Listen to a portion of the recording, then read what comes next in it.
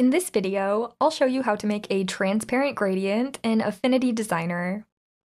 To begin, we'll select the layer that we want to add the transparency effect to. Next, we'll get out the transparency tool. To find this tool, just click on the little triangle that's underneath the fill tool, and then select the transparency tool. Then all we need to do is click and drag to make a transparent gradient. I'll also deselect this layer by clicking outside of the document area, just so that we can see the transparency effect better. As you can see, the effect already looks great. But before we finish this video, I have a few last tips for you. First, if you ever want to adjust the gradient, just make sure you have the transparency tool out, and then select the layer you added the transparency effect to. Then you can click and drag to reposition the gradient.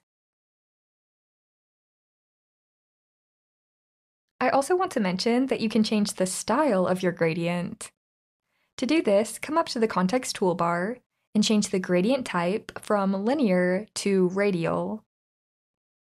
Now the gradient goes in all directions instead of just going in a straight line.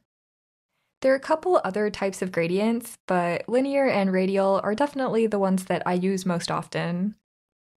And finally, I want to mention that the transparency tool works on all types of layers, even text layers or groups. This tool really is great and works exactly how you'd think it would. And with that being said, we're done. Thanks for watching, and I'll see you in the next Affinity Revolution tutorial.